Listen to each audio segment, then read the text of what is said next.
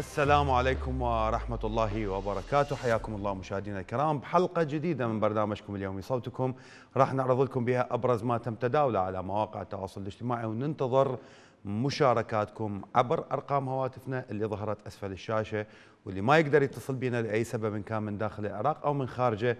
الرقم الأخير اللي بصفة إشارة الواتساب يقدر يدز لنا رسالة على رقم الواتساب. نقراها إن شاء الله بالدقائق الأخيرة من حلقة هذا اليوم. مشاهدينا الكرام أه نبدي حلقة اليوم وأرجع وأذكر ودائما أقول لكم إياها وبكل حلقة راح نقولها لا حد يزعل علينا اللي إحنا دا نعرضه يمنا بشاشتنا هو اللي أنتم دا تعرضوه على مواقع التواصل الاجتماعي واللي الناس دا تتداوله بأكثر صورة ممكنة فأي شيء يشوفه متداول بالعراق نأخذه في حلقتنا. أول ملف ويانا هو ملف المعتقلين العراقيين. السجون الحكومية ومن عشرين سنة بها تعذيب نفسي وبها تعذيب جسدي اللي هو مخالف إلى كل القوانين الإنسانية. ودا يتفننون السجانين بإذلال المعتقلين وتعنيفهم وأهاليتهم بوسط غياب أبسط الحقوق لهؤلاء الضحايا. وفق ما اكدته تقارير حقوقية وشهادات لضحايا هم يقولون إنه إحنا ما عندنا حقوق. الغزو الأمريكي للعراق عام 2003 كرس منهج التعذيب بالسجون الحكومية. وكرس ويا مسألة الإفلات من العقاب. وصارت منهج قائم لنظام العدالة بالعراق اللي أبعد ما يكون عن العدالة تتمثل حالات التعذيب بطرق هواية الصفع الشتائم الإذلال التهديد الصعق الصعق بالكهرباء سوء المعاملة سوء التغذية سوء الطبابة.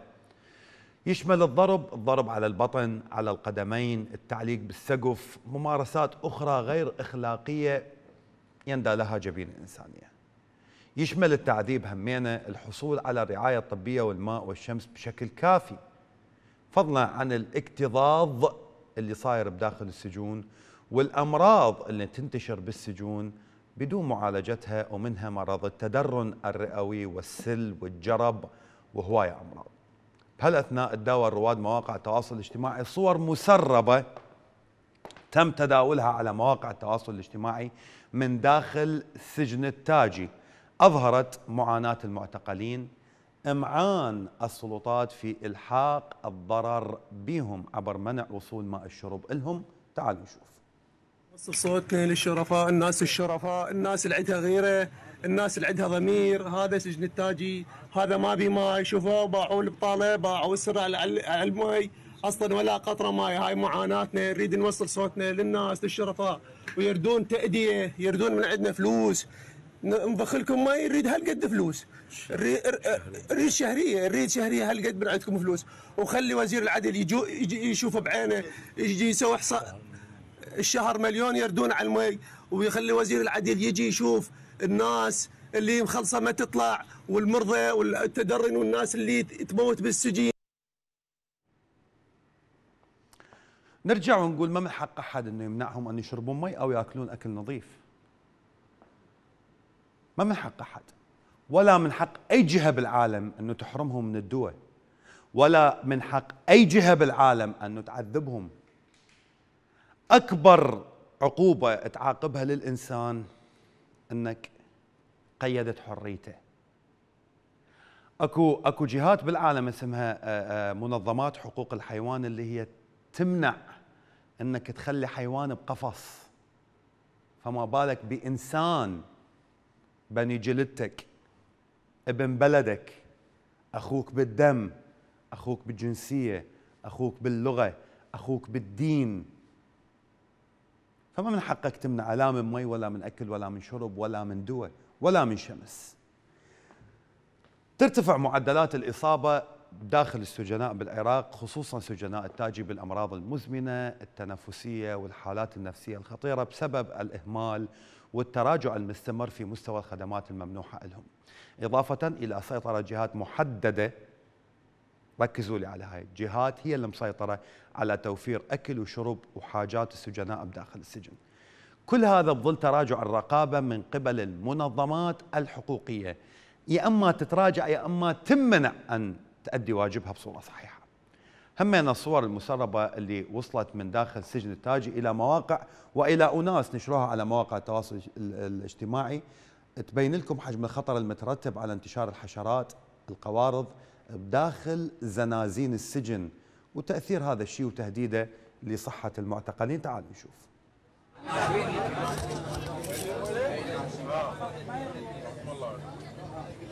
هاي السلاسل.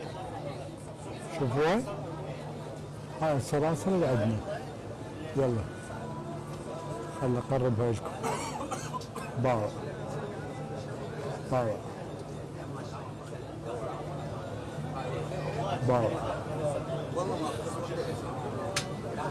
هاي السلاسل شوف.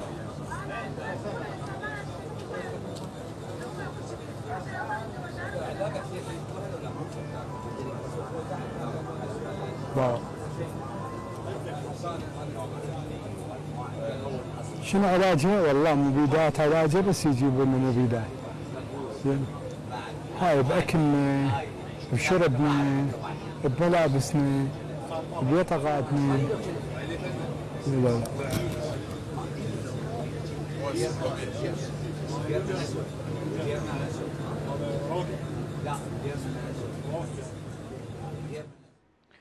أنا اريد أسأل سؤال واحد بس. عفك من الأكل والشرب انت تحرمهم منه؟ اللي دا يشتغلون بسجن التاجي. ما دا أقصد المعتقلين لا اللي قائمين عليه. انتشار الأوبئة والأمراض ما راح يهدد بس السجناء لا راح يهددكم لكم أنتم امين لأن أنتم على تماس وياهم. زين انتشار الحرشارات والقوارض تؤدي إلى انتشار أوبئة. زين أنتم ما خايفين على صحتكم مثلا؟ بالنسبة إلى إلى اللي يشتغلون السجانين اللي اللي بالمطبخ ذولا ما يخافون على صحتهم مثلا من تصير هيجي؟ زين. الوزير عنده علم بهاي الصورة أو عنده علم السجون آه، هيجي صاير أنا متأكد عنده علم. أنا متأكد عنده علم. بس ليش نعطيها إذن الطرشة هو ورئيس الوزراء والقائد العام بالقوات المسلحة ووزير العدل وغيره وغيره وغيره؟ ما أعرف. شنو دور لجنة حقوق الإنسان بداخل البرلمان العراقي؟ ما أعرف. شنو الدور الرقابي اللي دا يؤديه البرلمان العراقي في ظل انتشار هكذا صور؟ ما أعرف. بالسابق اكو صور انتشرت إلى أكل معفن اكو صور انتشرت إلى آه، ناس نايمة بالحمامات اكو صور انتشرت إلى آه، أدوية قليلة إلى أمراض إلى انتشار كثيف إلى هواية من الأمور. شنو الدور الرقابي اللي سووه لحد الآن؟ همينا ما أعرف. الناس لما شافت هذه الفيديوهات علقت على هذا الموضوع. واول تعليق من يوسف علي. حسبي الله ونعم الوكيل بكم يا حكومة بلا ذمة ولا ضمير ولا عندكم خوف من الله. سبحانه وتعالى يمهل ولا يهمل. سهى آه، حكمان يقول الله ينتقم من الحكومات الظالمة أطلقوا سراح الأبرياء والمظلومين لديهم أطفال وعوائل وأمهات. آه، عبد المجيد البيات يقول إصدار العفو العام هو الحل بإذن الله ومطلب كل عراقي شريف. وبيداء تقول حسبي الله ونعم الوكيل عليهم خابصين نفسهم بالموازنة. وين يدرون شو يصير ما يصير؟ هالحرامية فكان هذا أول موضوع ويانا اللي هو معاناة المعتقلين بداخل السجون العراقية. وعندنا اتصال من الموصل أم أحمد. حياك الله. أم أحمد؟ إيه، السلام عليكم. عليكم السلام ورحمة الله. عشانك أخوي. حياك الله أختي. أه بس بلد إحنا عندي أه يعني شكوى مثل ما تفضلت أنت على السجون. نعم. أه أنا ابني صار صار سنتين ما شعتونه. لأن مريضة ما تقع ما تقع اني أروح ازوره بسجن بابل المركزي الشكوى هنوكا بيا سجن بيا سجن هو؟ سجن بابل. سجن بابل. نعم. إيه. آه، لأن مريضة والله ما أقدر أروح أشوفه. الطريق بعيد وخطر وما أقدر. آه، دزينا له فلوس يعني بالأمانات مع جماعة بنفس السجن ونفس على نفس العنوان واسمه. ما نعم. قبلوا يستلموها بالأمانات. يعني تمنعوا عنا من الفلوس. يعني آه، الولد اشون يعيش منين يأكل منين يشرب. وخابرنا قبل فترة قال ما يخلونا نخابر. كل شهر ونص مرة وحدي. ونريد تدزوا لنا فلوس على السريع. لأن ماكو ماي ماكو أكل. يعني اكلهم وسخ آه، بالقاعات يعني يعني حالة يرثى لها. نعم. وبعثنا له مصرف مع الجماعة. والله ما قبل يستلموا أبو الأمانات ورجعوا لنا هي. يعني شلون هاي؟ إحنا ناشد وزير العدل. يعمل لنا حل للاولاد هم مظلومين وهم أبرياء. نتيجه المخبر السري. نعم. نعم. وصلت وصلت رسالتك وشكواك أم أحمد. آه، أم أحمد تقول أنا عندي معتقل في سجن بابل صار لي سنين ما شايفته بسبب المرض وهواية أسباب أخرى. وحكت لنا شوكة الشكوى اللي قدمتها والحال اللي موجود بداخل السجن. أم أحمد أم وهواية أمهات مثلها. أم أحمد مرة كبيرة بالعمر ربي يعطيها طولة العمر ويقر عينها بشوفة ابنها. هواية أمهات بالعراق مثلها لكن المشكلة ويا من تحكي. روح إلى قضية ثانية اللي هي خطرة إلى أبعد حد الأوبئة والأمراض. مع الأسف بالعراق أكو شيء اسمه وزارة الصحة بس أبعد ما تكون عن وزارة. هي عبارة عن كشك للسرقات فقط. وزارة الصحة الحالية كشفت ارتفاع الإصابات بمرض الحمى النزفية بالعراق إلى 192 حالة. بينهن 29 وفاة من بداية عام 2023 يعني 29 حالة وفاة خلال الست أشهر هاي اللي إحنا عايشينها. ورا ما كان المرض وصل إلى أعلى مستويات انتشارة بسنة 2022 وأكدوا ارتفاع كبير بمعدلات الإصابة بالمرض إلا أن البلاد ما تخلصت من المرض العام الماضي. ليش؟ لأنه أكو إهمال واضح للإجراءات الوقائية. على الرغم من استمرار تسجيل الإصابات بالمرض لكن الإجراءات الوقائية من متابعة ومنع الجزر العشوائي وساحات بيع المواشي وتربيتها بداخل المناطق السكنية إضافة إلى عمليات المكافحة تكاد تكون معدومة. مثلا بغداد وتحديدا مدينة الصدر شرق العاصمة العراقية بغداد. بغداد اللي تعاني حالها حال المدن العراقية من الحمى النسفية عندنا صور ملتقطة من هناك انتشرت على مواقع التواصل الاجتماعي. تبين استمرار الرعي العشوائي بطرق المدينة وغياب المتابعة. هذا الشيء اللي ينذر بكارثة كبيرة على المدى البعيد. تعالوا نشوف. أمانة الله باوع الله وكيلك ومحمد كفيلك لا أكو شتلة ما ماكلاته لا أكو شارع ما قاطعاته. وسعنا حاليا بين قطاع 79 وبين كسر العطيش هذني ما نخلص من عندهم هاي الناس المدينة. باوع وفوقها شنو فوقها؟ وين يرحن يسرحن يسرحن من تقاطع مال كسر العطش اسمع اسمع. من تقاطع مال كسر العطش وصلنا لحد التقاطع مال قيارة. الجزرة والذيل اسهل منا عليه ها باوع ها يلا. أخوي أخوي خلصنا ما صار له حل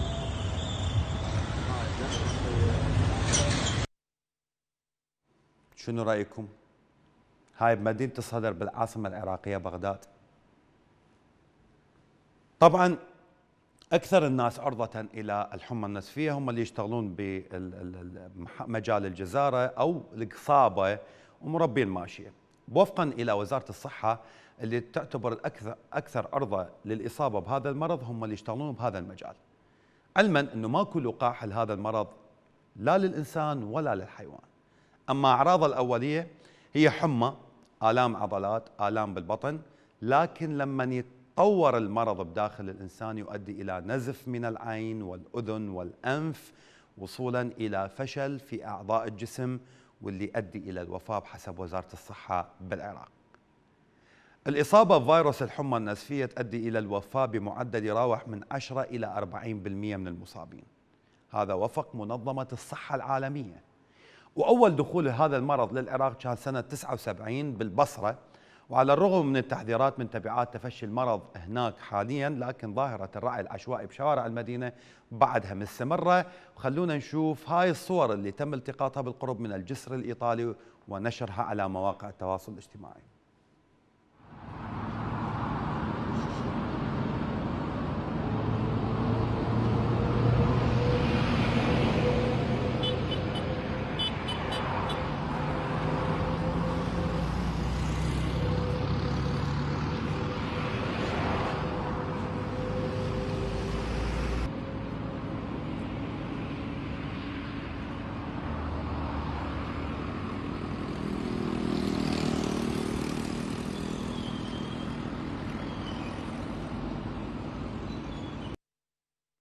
هاي لو كنا في بلد يحترم نفسه من المفترض أن تكون حظائر ومزارع خاصة لتربية و... آه، آه، لتربية المواشي أغنام وأبقار وغيرها. وأكو لجان من وزارة الصحة تذهب إلى هذه المزارع حتى تفحص بشكل دوري صحة هاي الحيوانات لأنه هاي الحيوانات بالتالي راح تكون هي الغذاء إلى الإنسان. فأكو تماس مباشر بينها وبين الإنسان إضافة إلى أنه أكو ناس يشتغلون بها ناس يشتغلون في تربيتها وقصابتها وبيعها إلى إلى الناس بشكل عام. فالمفروض أكو أماكن مخصصة مو بالشارع. زين أنت من ربيتها بالشارع إيش تاكل؟ زبل. أما من البصرة نروح إلى كركوك. كركوك هي مركز محافظة التأمين. الكل يعرف إن وزارة الصحة مقصرة بواجبها. لكن هنا الكوادر الطبية أو الطواقم الطبية استنفرت بالمحافظة كل جهودها بمحاولة منها أن تحد من تفشي المرض اللي صار يهدد صحة الإنسان العراقي بظل انهيار القطاع الصحي بالبلاد. سيارات الإسعاف جابت شوارع مدينة كركوك والمحافظة لبث التعليمات لنشر التعليمات اللي من المفترض أن يتخذها الإنسان في حال صار لا سامح الله المرض، تعالوا نسمع. التعليمات الصحيه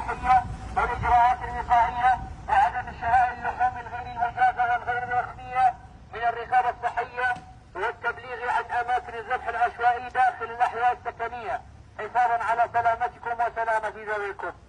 أهالينا الكرام تدعوكم إدارة المحافظه ودائرة صحة كركوك إلى اتباع التعليمات الصحية والإجراءات الوقائية في ظل انتشار أمراض الحمى النزفية بالمحافظه وتدعوكم إلى الإبلاغ عن أماكن الذبح العشوائي وعن أماكن داخل الاحياء السكنيه وتدعوكم اللي دا يسووه صحيح.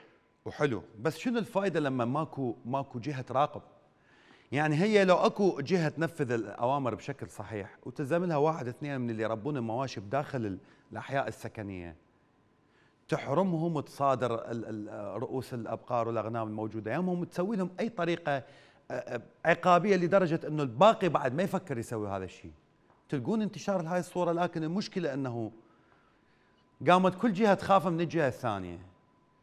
فأبو الشرطة يخاف من الأمن الوطني وأبو الأمن الوطني يخاف من الحشد وأبو الحشد يخاف من الجيش. ليش؟ لأنه يقول لك هذا عنده فلان بفلان جهة. أو بالعكس عفوا أبو الجيش يخاف من الحشد الوطني ليش أقلبها؟ خلينا نكون صريحين. خاف هذا عنده قرايب بفلان جهة. خاف هذا عنده صديق بفلان جهة. خاف هذا ناس بفلان بفلان جهة. فما نندق به هاي مشكلة العراق اللي هي المحسوبية.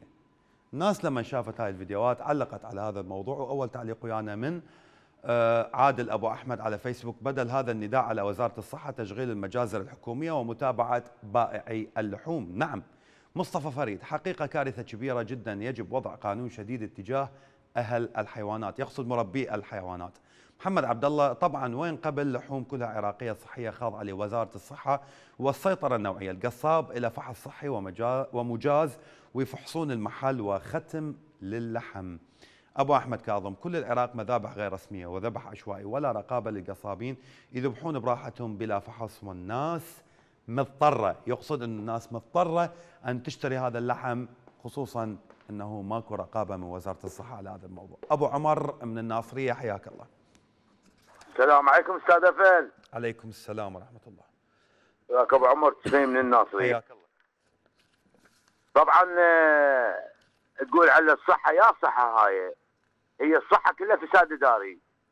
هذا وجه الصحة يعني ما جاي يشوف الوضع هذا بالشوارع هذا الذبح العشوائي. زين ولا هم مبسطين يعني مبسطين إيش حاطة كل شيء يكون منبسط عليه لحم.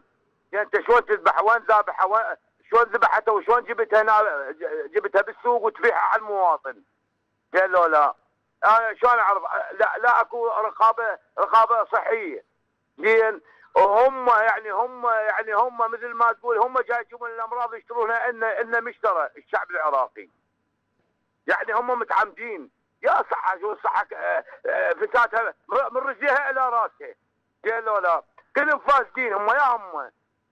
سووا هم سووا هم. جاي شو يسوون هسه هم؟ أكو رقابة؟ يعني أنا ما شافت خلي يشوفون الدول هاي.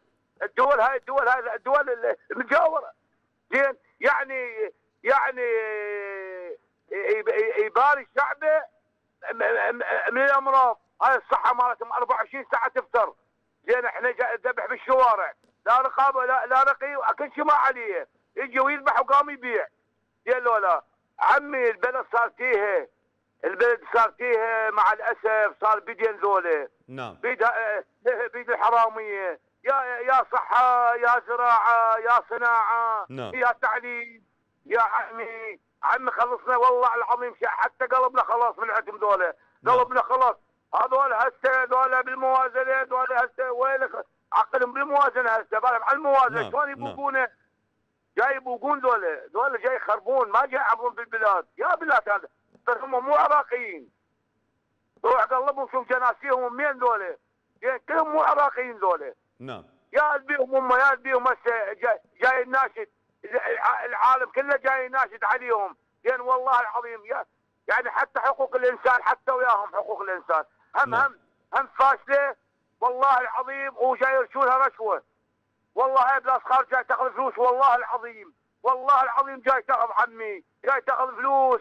من نعم. عندهم جاي يعطونه وجاي يسوي العلاقات وين الدول؟ الدول هذا أنتم تعرفون دول حرامية؟ نعم. شلون تحطون ايديكم بديهم دول زين والله العظيم دول حرامية. يا أمم متحدة حشاك والله العظيم شيبوا روسنا يا عمي. نعم. مع الأسف والله العظيم مع الأسف. نعم. زين هذا هذا هذا هذا بهم. هذا هذا العراق هذا العراق العظيم. العظمه لله. نعم. انت تسوون بيه والله العظيم والله العظيم يعني شو أقول لك. سويتوا ما سويتوا بيه زين؟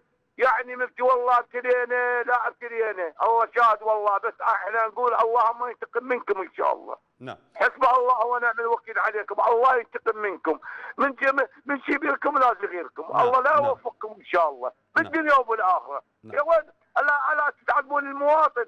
ال- البشر ما تخافوا من الله ولا تروحوا من الله بعدين.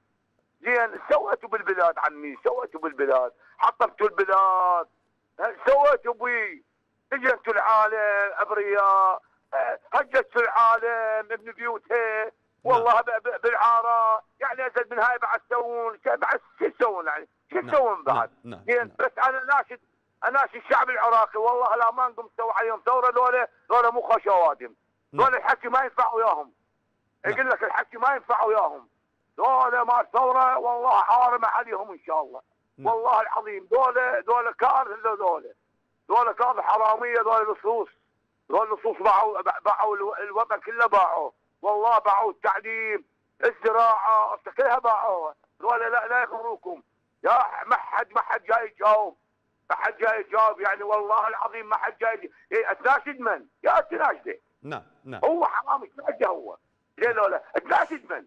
نعم شكرا شكرا شكرا لك أبو عمر.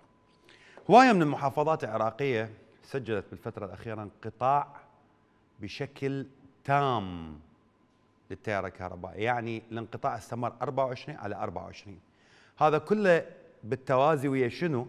ارتفاع درجات الحراره لأنه إحنا فصل الصيف بشهر حزيران الشهر الجاي تموز والوراء آب. واللي العراقيين يقولون تموز أبو الثورات وآب اللهاب. الأيام الأخيرة شهدت بالعراق تصاعد ملحوظ بدرجات الحرارة بشكل عام واللي تسببت بتراجع ساعات تجهيز الكهرباء. وتسجلت من ساعات الصباح الباكر بمحافظات البصرة وميسان وديقار جنوبا انطفاء تام للتيار الكهربائي. امتد إلى محافظة واسط ظهر اليوم وبميسان جنوبا استغرب مواطن من عودة أزمة الكهرباء إلى الواجهة من جديد بظل الوعود الحكومية بتحسينها خلال فصل الصيف. تعالوا نسمع. الشركة العامة لتوزيع كهرباء الجنوب فرع توزيع كهرباء إحنا اليوم موضوعنا بخصوص الكهرباء. الكلام موجه للمسؤول. وإن شاء الله إذا كان أكو مسؤول. بداية صيف وبدت الانقطاعات مع الكهرباء إحنا نريد نعرف شنو السبب. بدا صيف وبدت الانقطاعات. جاي تختبرونا تختبرون صبرنا تعودونا على الحار. نريد نعرف شنو السبب. والكلام موجه للمهندس أقدم رئيس مهندسين. يعني خصوص مجال الكهرباء والمجاري وال- والمي بدا الصيف وبدت الانقطاعات. بدت الانقطاعات مال الكهرباء. شنو السبب؟ وليش الجارة العزيزة قطعه الغاز قللت الغاز؟ ليش؟ وإحنا جاي غازنا نحرقه وينك يا رئيس مهندسين يا مهندس أقدم؟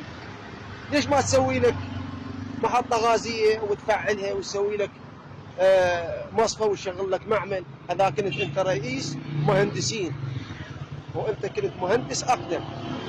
ليش ما تفعل شهادتك؟ هذا الكلام لكم طبعا أنتم أصحاب الشهايد اللي كاتبينها أول ما تدخل وتلقاه فلان ابن فلان رئيس مهندسين. وين شهادتك؟ بدأ الصيف وبدت الانقطاعات. هسه الناس لما تقول هذا انتشر المقطع على مواقع التواصل الاجتماعي من هو رئيس المهندسين هذا ومن هو المهندس الأقدم؟ أنا أقول لكم ده يقصد محمد الشاع السوداني لأن هو كاتب على نفسه مهندس أقدم ورئيس مهندسين. بس أنا أحكي ويا المواطن. يبدو أنه المهندس الأقدم آه، تنطبق عليه كلمة الأقدم السيركت مالته قديم ما يشتغل عدل. فيحتاج واحد عنده السيركت جديد حتى يشتغل عدل. المشكلة يعني ما أعرف إذا هو كان فعلا رئيس مهندسين ومهندس أقدم فوين الخبرة بالموضوع؟ ما أدري. وين مشتغل؟ ما أدري. شنو اللي مسوي بهذا الموضوع؟ ما أدري. قال كلمة حلوة. قال كلهم كاتبين بالسيفيات مالتهم شهايد بس وينها على أرض الواقع؟ مع الأسف الكل يعرف وإذا الكل ما يعرف نحب نقول لهم وأحب أقول للمواطن العزيز اللي طالع هنا إنه أغلب اللي موجودين وكاتبين الدق الدكتور فلان الفلاني ورئيس مهندسين ومهندس وأستاذ جامعي وغيرها وغيرها هي شهادات تزوير مع الأسف وباعتراف رسمي حكومي. إضافة إلى ذلك قال كلمة قال الجارة جارة السوء هو قال عليها العزيزة إيران اللي قطعت الغاز عن العراق. آه، جارة السوء ما خلت تشيل العراق حتى نقول عليها الجارة العزيزة. قطعت المي قطعت الغاز قطعت. كل شيء.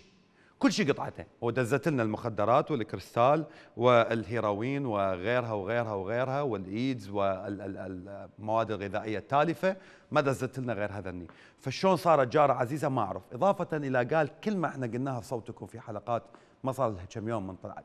عندنا غاز. إحنا دا نحرقه. هذا الغاز دا يسبب تلوث. إذا أنت رئيس مهندسين ومهندس أقدم روح فكر به سبق أن وعدت وزارة الكهرباء أن يتم تحسين الطاقة الكهربائية وزيادات ساعات التجهيز خلال موسم الصيف. هذا وعدهم هم وأكدت أنه تم إدخال طاقات توليدية جديدة إلى منظومة الكهرباء الوطنية العراقية. وأكدت دخول خطوط نقل استراتيجية بين المحافظات كانت بالسابق معطلة يعني اللي قالته وزارة الكهرباء الحالية أنه كل شيء راح يصير تمام. لكن هاي الوعود سرعان ما كشفت كذبها. لأنه أزمة الطاقة الجديدة بظل الحديث عن قطع إيران إمدادات الغاز وتسببها بتراجع ساعات الكهرباء وتزويد الكهرباء كان هو الدليل. بهالأثناء عندنا مقطع مصور مواطن من البصرة اتصل على وزير الكهرباء زياد علي فاضل رزيج وقدم شكوى بشأن انهيار منظومة الكهرباء في المدينة بسبب قطع الغاز الإيراني. تعالوا نسمع ألو السلام عليكم سيادة الوزير وعليكم السلام ورحمة الله سيا... أستاذ زياد مو؟ تفضل. أستاذ زياد أنت محسوب على البصرة وإحنا أهل البصرة. نطلب من جنابك المحترم التواجد كل أسبوع في محافظة البصرة. شو القضية؟ وأنا جايب لك وزير. كل أسبوع بالبصرة يا حج الشمس سيا... 18 محافظة. سيادة الوزير البصرة لها خصوصية خاصة وعقب مؤامرات ربما تحاك ضدك. المشكلة عندنا عملية الانقطاع في أغلب مناطق البصرة وبرمجة. من تتصل على 159 يا أما يقولوا لك عندنا صيانة ومن المعروف إنه بوقت الذروة يعني بهاي الفصل مال الصيف وخاصه بالسادس والسابع ماكو صيانة. اليوم اتصلت بهم يقولوا لي الخط الإيراني انقطع. هل هاي المعلومات صحيحة يا سيادة الوزير؟ إحنا منطقة يسمونا 74 العابر ورا ياسين خريبط رجال بلا وعد قلبه ده يقول لك بسبب القطاع الإيراني تقول له بيا منطقة. نطاك سؤال. شو انهزمت قبل؟ ها العفو. حرجه للرجال. آه سيادة المواطن شلون تسأله هيك سؤال؟ أنت تعرف رواتبه يقبضها منك؟ أنت تعرف إنه الأخ صار وزير بموافقة منك؟ أنت تعرف أنه الحكومة كلها تمت الموافقة عليها لما جت الاوكي منك. فشان تقول له بسبب القطع الإيراني؟ لأنه أنت هيك تحرجه ولما انت حرجه تجي الكفخة من فوق. ببغداد. هاي الصورة بملعب المدينة الدولي. أكو مباراة ودية لمنتخب العراق الأولمبي للشباب ويا نظيره الأردني. صارت على وقع هتافات ضد الطبقة الحاكمة الفاسدة بسبب توقف المباراة. يا ترى ليش وقفت المباراة؟ لأنه التيار الكهربائي توقف عن الملعب. تعالوا نشوف هذا المشهد من مشاهد الفشل والسخط ضد الحكومة.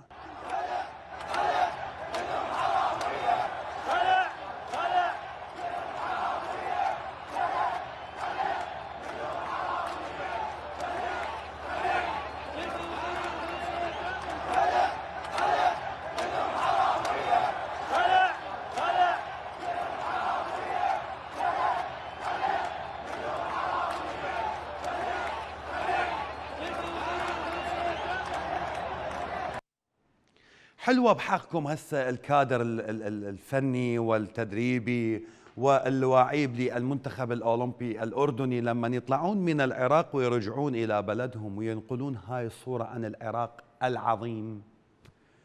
حلوة بحقكم. لما يروحون إلى هناك ويحكون عن بلد يعتبر بلد مؤسس إلى جمعية الأمم المتحدة وهاي صورته. حلوة بحقكم. لما يطلعون من بلد بحضارات لآلاف السنين قبل الميلاد وهو بلد الحضارات مو وحدة أكثر من وحدة. حلوة بحقكم لما يطلعون من بلد في فترة من الفترات حكم العالم من المشرق إلى المغرب. حلوة بحقكم لما يطلعون من عندكم ويرجعون إلى بلدهم وجامعاتهم تزخر بالعقول العراقية والأساتذة العراقيين اللي خرجت أجيال وأساتذة دكاترة على إيديهم ولما يجون إلى هذا البلد اللي بيه أساتذة موجودين في بلدهم الثاني تكون هاي الصورة. الناس لما شافت هاي الصورة علقت على هذا الموضوع. وأول تعليق موجود ويانا من عباس فاضل يقول كان استحيتوا والله من اللعبه ساعة ونص ما قدرتوا توفرون كهرباء. أحمد الزبيدي نعم القائمين على الملعب لازم يتحملون المسؤولية. أحمد عودة. هي يا لعبة مهمة ما طفت بها الكهرباء. عادي هذا واقع معاناة الشعب. وحاتم العتاب يقول لكن السؤال المهم من العيب والمخزي دولة لا تستطيع توفير الأمن والحماية داخل الملعب وتحمي منظومة كهرباء داخل ملعب صغير. عجيبة غريبة. فكانت هاي تعليقات الناس حول هاي القضية. أبو عبد الله من صلاح الدين حياك الله. السلام عليكم. عليكم السلام ورحمة الله. أستاذ العزيز أنت من تقول تقول فلان دكتور فلان دكتور. يا استاذي هاي يعني مو نوبو نوبتين حكيناها شهايد يجيبوها بفلوس يشتريها بفلوس. دكتور ما ليش هو هذا دكتور؟ يعني مع احتراماتي مع احتراماتي للأساتذة بالعراق السابق مو هسه. مو هذا العراق الهسه ماكو. نعم. الفشل نور المالكي ومحمد الحلبوسي. يعني كانوا أساتذة عمالقه مو مو أساتذة. إذا كليه عسكرية من العراق إذا دكتوراه من العراق إذا إذا يعني بروفيسور يتخرج من العراق. يعني وين وصلون هذول؟ هذول ناس ماكو جتنا ناس ترجع العراق ما قبل الحضارة. يعني اليوم محمد شاع السوداني يطلع مدري مؤتمر على قناة صلاح الدين. يقول إذا رجع النازحين آخر نازح رجع لبيته. زين أنت من تقول لي بيته وهو بيته متفلش للقاع. وين ترجع لبيته؟ انت عاد تحكي من كل عقلك. طاحي لو مكبسل لو انطوك جابوا لك مخدرات مثل من هذا اللي من إيران وكبسلت وطلعت على القناة. يعني إحنا من عن نحكي من نحكي لك الأستاذ الدكتور المهندس يا مهندس عمي يعني تلقيه مدير دائرة اللي يمشيه اللي يمشيه موظف بسيط ماكو موظف بسيط يمشيه. من تحكي للمدير المدير مخلي ثلاثة أربعة يسلم يروح على المحكمة. والله عنده شهود. يا عمي والله العالم طفت رواحة. يا عم العالم يعني قامت قامت كرت حتى أنفسها. يعني هسه مو قال لك داعش قال لك حزب بعث قال لك, عمي والله كلهم هاي الحكومة كلهم أنا أقول لك وأنا مسؤول عن كلامي. نعم. ما اتصل وقندرة البعث بقد- الشعر لا هو الله. يعني قلت لك هاي القوات الأمنية يقول لك قوات أمنية. يا قوات أمنية عمي. يجيك ماكو هو بالقوات الأمنية ويكبسل بالقوات الأمنية ويجيك ماكو سكران من قاعد سكران جاي على الأذية. ماكو شيء عمي هذا مو عراق مو بلد. هذا حيقودوا ناس عصابات كل من حزبه. ويا حزب يا كل من حزبه. إحنا من نقول حزب ترى حن نكفر نعم. مو حزب مو حزب. كل من عصابته وكل من مليش ميليشياته. يعني نعم. من تجي تقيس بالمحافظة تجي تعيينات كل من أخذ له حصة كل من له هالقد هالقد اسم. نعم. راح باحث هالقد دفتر. نعم. يا عمي يا دكاتره عمي والله مو دكاترة هذول. والله مو دكاترة. هذول فشلوا العراق هم هذول. إذا أي حد فشل العراق مع احترام مع احتراماتي للعراق مع احتراماتي للأساتذة بالعراق هذول فشلوا العراق. والأساتذة الناس الطيبة والشرفاء والنز- والنزيهين مثلك أنت ومثل عمر ومثل الأخ ومثل الأخ برا العراق لأن أنت أنت عداعي بشيء حق ما حيريدك أنت. يعني عندك بالقناة مالتكم عمر بس اسمه بس اسمه عمر. إذا يجي البغداد اسمه دعوة بس اسمه دعوة. يا عمي جتنا ناس دايحة حيشاك. والله هذا هذا سني هذا مدري شنو هذا بعتي هذا صدامي هذا هذا يعني سويت أنت شنو؟ تجي تقول أنا دكتور دكتور يمشيك موظف سنتير. موظف موظف بسيط ماكو. ما عنده شهادة ما عنده شهادة ما ابتدائيه ويمشيك على البوق وعلى السرقة؟ يا عمي والله والله شفنا شيء عجيب يدوخ نعم. يعني تروح تشتكي يم محافظ يمنا شديب تنام الدعوة؟ تروح تشتكي يم المدير الأعلى من مدير شعبة. هم نفس الحكي يحكي. كلها كذب بكذب هاي كلها صارت وياي أنا اللي قاعد احكي وياك نعم. أنا اللي قاعد احكي وياك صارت وياي. صارت وياي قبل شهر أو أكثر قبل شهر أو أكثر. ويجي يم القاضي يجيب ناس بعدها بعد ما متعينة. القضية صارت وياي قبل شهر يجيب ورا شهر ناس تعينت يقول هات شاهد زين شاهد شلون؟ أنت كقاضي كقاضي قاضي تحكم بحكم الله. ترفض هاي الشهادة وينك ويش يا عمي؟ ترى حتى القضاة حتى القضاة مو صحيحين حتى القضاة. نعم خاف نعم. يقول لك القاضي وخاف يقول لك محامي. ما أنجز حيش السامع من القاضي غير المحامي. نعم ناس نعم. انجز شك- منها شكرا بفلوس شكرا ناس. شكرا لك أبو عبد الله. نروح هسه إلى أزمة الجفاف بالعراق. تلاحظون كم كم كلمة قلنا أزمة؟ هي العراق كله أزمات. تحديدا نبدي من قضاء المشخاب بمحافظة النجف. أظهر الصور منها كان جفاف التام. لنهر شلال بمشهد ينذر بكارثة على الحياة والتنوع البيئي بهذا النهر. خلونا نشوف. بنهر شلال. شط شلال الرئيسي اللي عليه أكثر من 10000 دونم. أكثر من 25 ألف نسمة هنا. جاي يموتون على البطيء. هذا الشط جفاف تام. 10000 نسمة بس هاي ميتهم وهذا الشط أمامكم. كله جفاف. بعض أذناب الأحزاب. بعض اللوقية. بعض المجرمين والعارات والسفلة يتهموني بانني اضل للرأي العام بأن ماكو جفاف. راح أراويكم ناظم شلال شلون جفاف تام هذا الناظم. هذا ناظم شلال الرئيسي. آلاف العوائل جاي تموت على البطيء. هواية من الناشطين أجمعوا إنه آه، ناشطين مجال البيئة إنه الحكومة حكومة الاطار التنسيقي اللي يرأسها محمد الشياع السوداني ما عندها خبرة وما تملك أي معلومات كاملة عن الوضع البيئي بالعراق.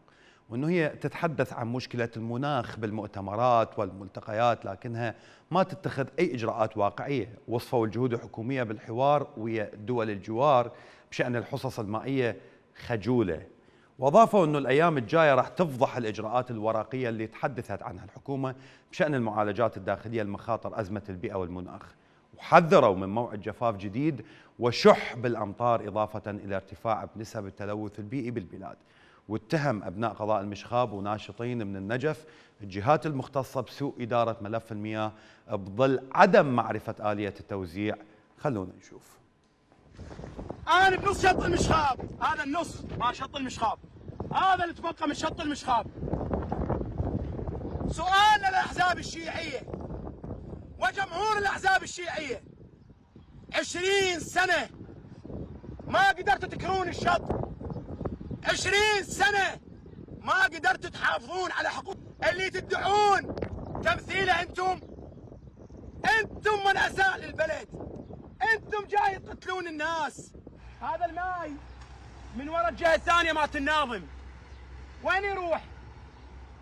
ليش اني عطشان وهذا الماي جاي يروح لهناك؟ من المسؤول؟ حصتنا مالت الماي وين؟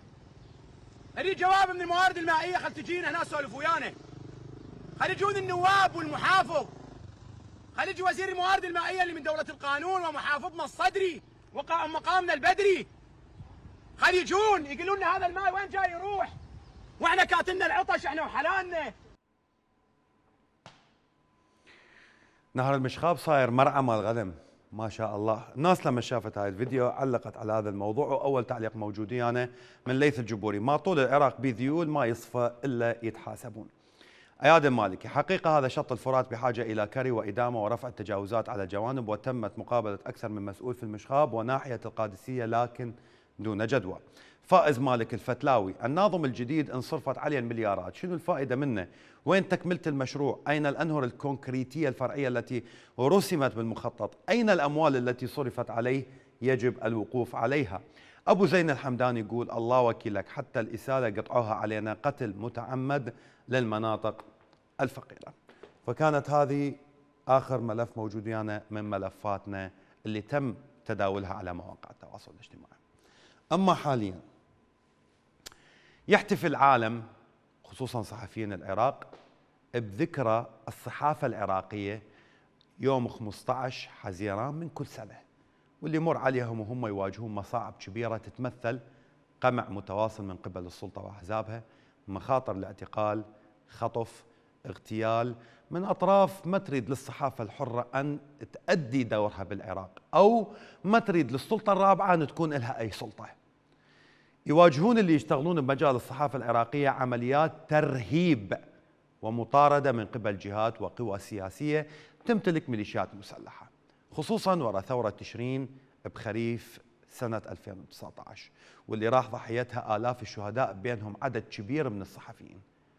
وإجا العراق بالمرتبة 167 من بين 180 دولة بحرية الصحافة لسنة 2023 بتقرير منظمة مراسلون بلا حدود حول حر أو عفوا حول حرية الصحافة العالمية.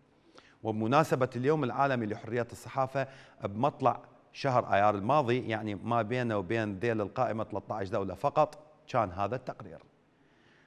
قسم التواصل الاجتماعي ركز لنا على هذا الموضوع وانتج لنا تقرير في قناة الرافدين بهذا الخصوص أريدكم تتابعوا ويانا سويا. تصفية جسدية أو اختطاف في العلن في ظل إفلات الجناة من العقاب وغياب الدعم. مشاهد تنغص على الصحفيين العراقيين الذكرى الرابعة والخمسين بعد المئة لعيد الصحافة العراقية وسط مطالبات دولية ومحلية بإيجاد آلية لحماية الصحفيين ووضع حد للتضييق على وسائل الإعلام وحرية التعبير في العراق. الإحصائيات الرسمية تشير إلى اغتيال أكثر من 500 صحفي وإعلامي في العراق. منذ الاحتلال الأمريكي عام 2003 جعلت تصنيف العراق مجددا من بين أخطر 31 بلدا في العالم. بحسب تقرير لمنظمة مراسلون بلا حدود الأمر الذي دفع الصحفيين إلى المطالبة بضرورة حمايتهم والكشف عن قتلة زملائهم وتعويض عائلاتهم. فلفلت جامد داوم مو وبركاته صحفيون غيبوا نتيجة سياسة تكميم الأفواه التي تمارسها الحكومات المتعاقبة ما أثار الرعب في قلوب العاملين في مجال الصحافة في العراق.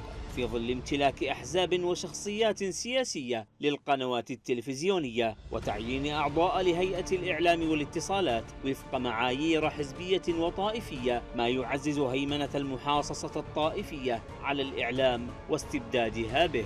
هيئة لا تعبأ لمعاناة الصحفيين والإعلاميين وتخضع لضوابط اتحاد الإذاعات والتلفزيونات الإيرانية في ظل مشهد تسود فيه عمليات الاغتيال والاعتقال والملاحقة والتغييب القسري سواء من الجهات الحكومية أو الميليشياوية حتى بات الخطاب الطائفي المهيمن على الساحة الإعلامية بعد إقصاء الأصوات الوطنية. إذا هو مشهد قاتم يخيم على الصحافة العراقية في عيدها الرابع والخمسين بعد المئة بعد أن لف الغموض مصير حرية التعبير التي كفلها الإعلان العالمي لحقوق الإنسان.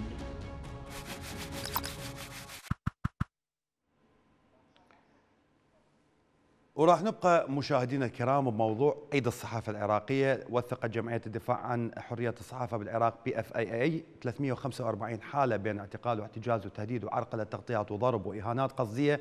فضلا عن دعاوى قضائية وإجراءات حكومية أسهمت بالتضييق والمنع خلال عام واحد. فلهذا السبب كان اليوم ترند تصدر العراق هو وسم. عيد الصحافة العراقية جبنا لكم بعض التغريدات آه، منه راح نقرأ لكم إياها على منصة تويتر. آه، هديل في هذا اليوم نستذكر شهداء الكلمة الذين ضحوا بأرواحهم في سبيل الحق والحقيقة. ونعاهدهم بالسير على دربهم حتى النهاية وأن تبقى أقلامنا حرة وأن لا نخشى في الحق لومة لائم. آه، ضحى. في هذا اليوم نستذكر شهداء الكلمة الذين ضحوا بأرواحهم في سبيل الحق والحقيقة ونعاهدهم بالسير على دربهم حتى النهاية وأن تبقى أقلامنا حرة وأن لا نخشى في الحق لومة لائم. وفرح العبيدي نهنئ الأسرة الصحفية في ذكرى عيد الصحافة العراقية ونأمل دعم حرية الصحافة والكلمة الحرة وتعزيز الصحافة الديمقراطية في العراق من قبل الدولة ومؤسساتها وتوفير بيئة آمنة وحماية أرواح الصحفيين من الخطر. سمر طالب في عيد الصحافة العراقية احصوا لنا الشهداء الأوفياء وأكرموهم بدعوة أو بدعوة تؤنسهم في قبورهم. كانت هاي كلها على هاشتاج عيد الصحافة العراقية. وبالنسبة إلى رسائل واتساب رسالة واحدة وصلتني. السلام عليكم أستاذ. آه، أخي الغالي أي وزارة الصحة وزير استلم الوزارة سابقا وفشل وأخرج بسبب فساد مالي سابقا لكنه يعود مرة أخرى بأمر المالك. المستشفيات في أسوأ حالها من يراجع هو في حالة خطرة أما من يدخل الجناح الخاص بملايين الدنانير أو يأخذ موعد على العام لستة أشهر أو سبعة وكذلك الفحص إما يكون خاص أو موعد لثلاثة أشهر. والرسالة تطول. أعتذر منك أخويا أبو محمد من النرويج. مشاهدينا الكرام كان هذا كل ما موجود ويانا في حلقة صوتكم لهذا المساء. نتمنى أن تكون حلقة اليوم قد نالت إعجابكم. انتظرونا إن شاء الله وانتظروني يوم الجمعة الجاية. في أمان الله.